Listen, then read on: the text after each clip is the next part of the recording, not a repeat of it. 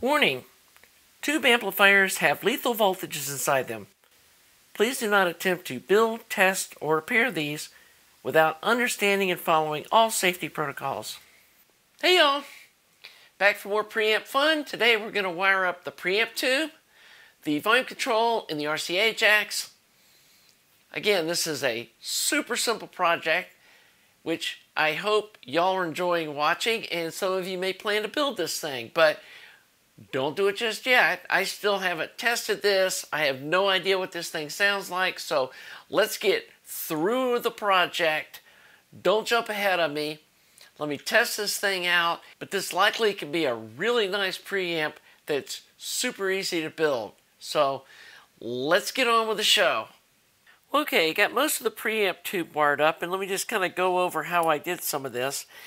Here is the 470K grid leak resistor, and it goes from the body of the RCA jack to the input pin, or the positive of the input. And then from here, you can see the 10K grid stopper that goes down to the grid of the tube and you want the resistor body down towards the pin of the tube, not up here at the top. So it goes the from the input signal down to the grid. This is our signal input. Then over here on this side you can see the same thing. Here's our grid stopper that goes from the grid up to our input. And then we have this grid leak resistor that goes from this input to the ground. And then these two white wires one from each RCA jack body comes around here and goes over to this ground point. And then we ran this ground comes from here and goes up to our star ground.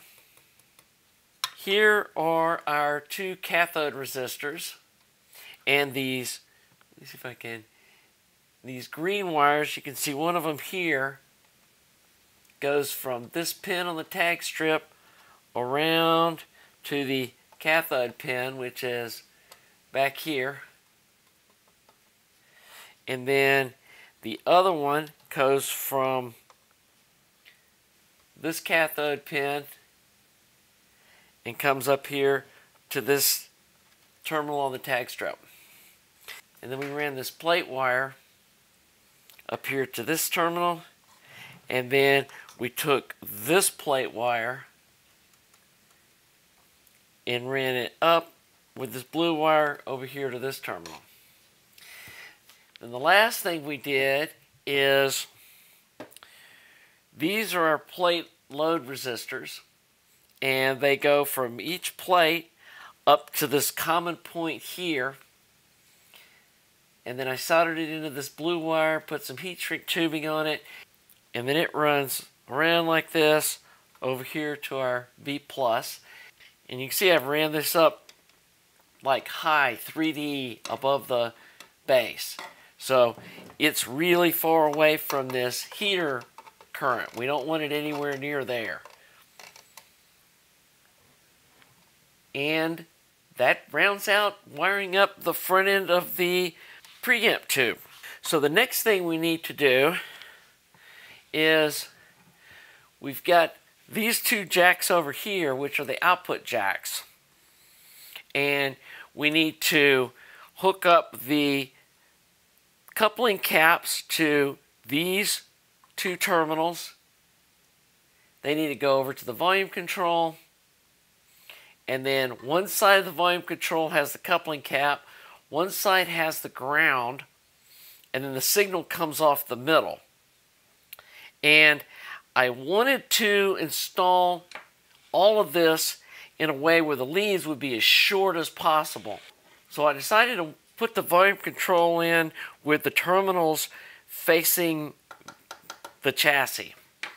And that way the leads are as short as possible and there's no reason to run shielded wire when you've only got like a half an inch of the wire exposed. So that's going to simplify hooking all of this up and as you can see, these coupling caps are going to connect to the these plate terminals here on the end of this tag strip. And then let me show you how I wired up this potentiometer on the other side. And it looks like this. These are the two grounds that are on this end of the potentiometer. And then these are the two signal wires, these ones in the center. And this is for the right channel, this is for the left channel. And then I ran the caps across into this N terminal down here on both sides. And that's going to get the signal where it needs to go. You need to check and make sure that when you've got the volume turned to the left or counterclockwise, you want to make sure that you've got almost zero ohms between the ground and the signal going to the output.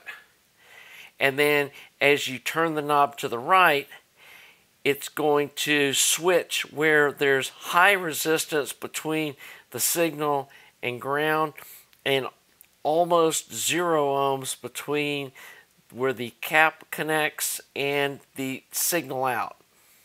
And that way, it'll make sure that when you turn it clockwise, it gets loud like you know it should. So anyway, now all I need to do is I need to run a ground from this side over and around to this point, and then a ground from this side up and around and over to here. And then I can ground the potentiometer to that same ground terminal here that's on the body of the RCA jacks, hook the signal up here to the center, and hook the coupling cap here and here, and we're all done.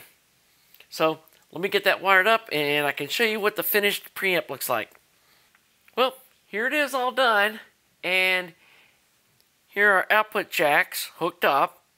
This goes to the, the center of this pin goes to the center of this 250K volume control. And then this is the white one that goes to the center for the other channel on this. These are the grounds. These white wires hook up to our central ground here. And then these caps hook up to the other side of the potentiometer. Here are our two cathode bypass caps. Like I said, I had a couple of audio note ones that I bought for a project and ended up not using because we went with LED bias. And so we're going to put those in here. And then let me flip it over and zoom out and show you what this thing looks like. And there we go. Rectifier tube, preamp tube. These are the RCA outs. On the other side, we have our RCA in. And then, and here's the volume control we ended up using, which I think looks really nice with this little preamp. And there we go. That's it. Oh, and here's the power switch. So there we go. I think it turned out looking nice. It's a really small footprint little amp. It's smaller than the 6BM8 was. It does make it a little more difficult to build. And so if this is your first project, you might want to get a little larger chassis. You can uh, add some tag strips if you need to.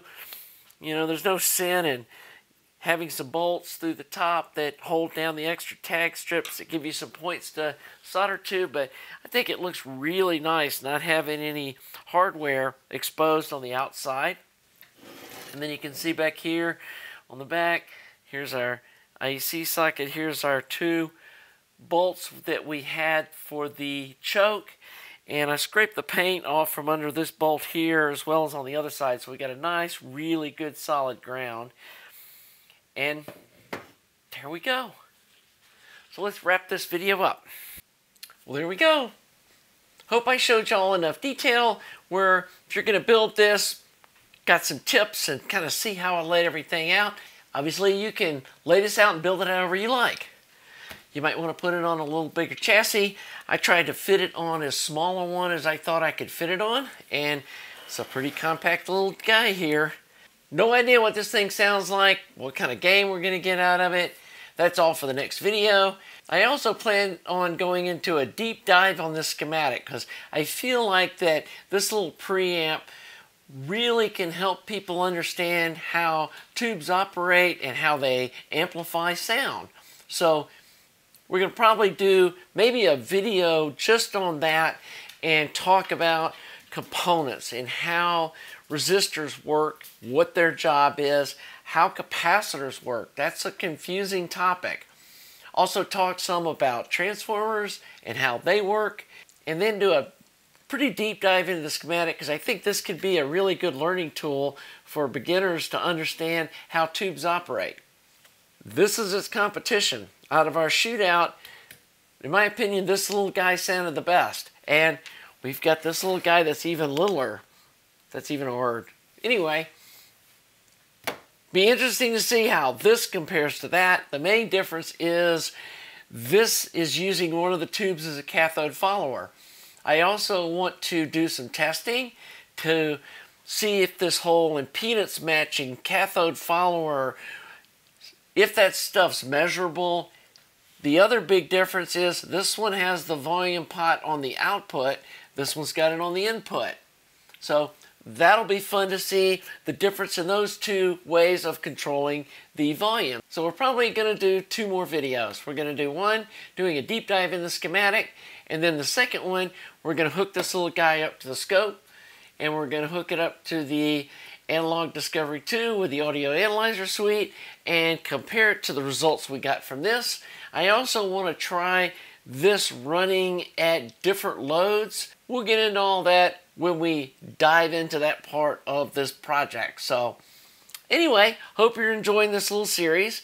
If you are, please subscribe, please like the video, and we'll see you soon for some more preamp fun. Have a great day.